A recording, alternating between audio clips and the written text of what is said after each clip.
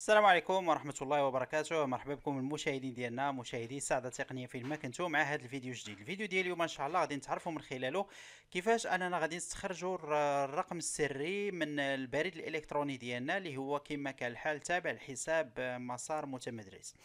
فكما تنعرفوا على أنه هذا الرقم السري غادي يفيدنا بزاف. اولا باش أننا نشوفوا البيان ديال النقاط ديالنا في الحساب ديال مسار متمدرس أو مسار service كذلك يمكن لنا أننا من خلاله ندخلوا ال Outlook آه، عن طريق آه، مايكروسوفت 365 باش أننا يعني نشوفوا النقاط وكذلك النتيجة.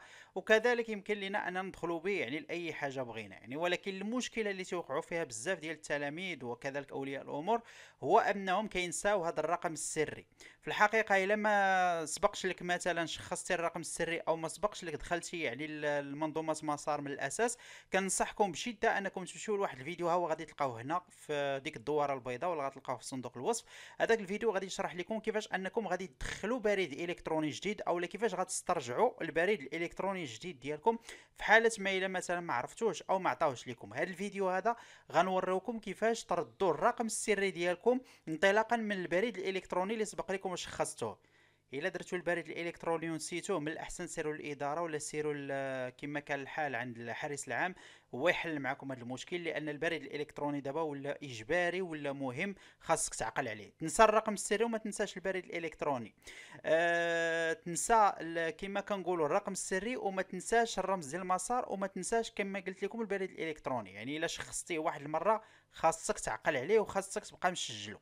دابا غادي نمشيو مباشرة باش نتعرفوا كيفاش نردوا الرقم السري ديالنا غادي نمشيو مباشرة يعني لمسار service.mem.gov.ma ومن ثم غادي نمشيو للفضاء الخاص بالتلميذات والتلاميذ وغادي نضغطوا عليه بحال هكا.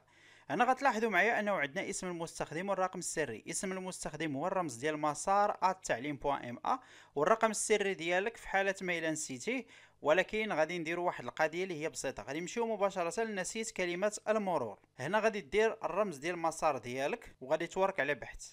كيف ما كتشوفوا تيقول لك اودي خصك تأكد لي البريد الإلكتروني ديالك. هنا إلا ما عرفتيش البريد الإلكتروني ديالك كاينة واحد الطريقة باش تعرف هذا البريد الإلكتروني ديالك اللي فيه مجموعة من النجوم. غادي تمشي مباشرة يا إما دير البريد الإلكتروني الشخصي ولا غدير نسيت البريد الإلكتروني. هنا غادي دير الاسم بالفرنسية النسب بالفرنسية تاريخ الازدياد ديالك ومعدل الدورة الأولى وكذلك غتحاول أنك تجاوب على هذه العملية هذه وغدير الجواب كتحديد لتحت وغادي تورك على زر ديال التحقق. هنا غادي تلاحظوا معايا أنه بالفعل عطاني الإيميل ديالي من خلال رمز المسار ولكن الإشكال هو أنك ما يمكنش لك تعدل هذا البريد الإلكتروني. علاش؟ لأن التعديل فهو تيكون مرة واحدة عكس كما كان عليه النظام بشكل سابق. يعني كنتي ممكن أنك تعدلو ماشي مرة ماشي جوج ماشي ثلاثة ولكن لقاو على أنه هذه المشكلة هذه كانت كتخلق لهم عدد من الأمور السلبية. بحال مثلا شي واحد ملي تيعرف المعدل ديالك وتيعرف الإسم والنسب كيبدل البريد الإلكتروني باش أنه يحصل على تبيان النقاط وكيوصل كذلك للمعدل ديالك. وهذه المسألة بصراحة بزاف الناس ما تيحبدوهاش وما تيبغيوهاش وبالتالي فهما داروا هذه القضية هذه باش أنها تحميك من الدرجة الأولى. وبالتالي كما قلت لكم في الأول أن دابا البريد الإلكتروني راه ولا واحد الحاجة اللي هي مهمة بزاف أنك خصك تحافظ عليه وتحافظ على الرقم السري ديالو باش انه هاد المسائل ما تبقاش توقع فيها يعني مستقبلا وما يوقعوش فيها ناس أخرين كذلك إلا كانوا كيشاهدوا معنا الحلقة في أول السنة مستقبلا. دابا شنو غنديروا؟ غادي نشدوا هذا البريد الإلكتروني حنا اللي لقينا وغنحاولوا نرجعوا به كلمة السر. دائما تنرجعوا لديك الواجهة الأولى ديال ال site web ديالنا وتنمشيو لنسيت كلمه المرور. هنا كندير رمز مسار كندير بحث.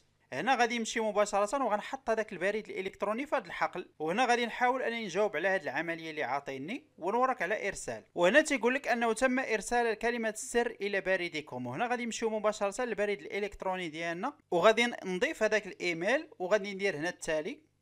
وهنا غادي ندير الرقم السري ديال الإيميل ديالي. وكما قلت لكم الرقم السري ديال الإيميل والإيميل خصو يكون عندكم ضروري. هنا غندير suivant وهنا غادي ندير j'accepte ولاحظوا معايا الرسالة الأولى اللي هنايا في فيها no reply آه غادي نحاولوا أننا نكليكيو عليها. وغادي نلقاو آخر رسالة فيها واحد الرقم سري. يعني هذا code d'activation أولا واحد الرقم سري اللي هو مؤقت. يعني ملي غادي ناخذوه مباشرة غنوريكم كيفاش غادي نعدلوه. غادي نمشيو مباشرة مرة أخرى يعني لمسار service غنمشيو لاسم المستخدم غنضيفوا رمز مسار. والرقم السري هو ذاك الرقم ديال l'activation اللي خديناه من الإيميل. وغادي نزيدو حداه at تعليم ام ا وهنا غادي نديرو الرقم السري وهنا غادي نوركو على تسجيل الدخول. كما كتشاهدوا هنا تيطالبني بأنني خصني ندير واحد الرقم سري ضروري وهذا الرقم السري أنا اللي غادي نشخصو بطريقة يدوية. وهنا كيف ما كنشوفوا على أنه بالفعل راه راه بدلنا الرقم السري ديالنا.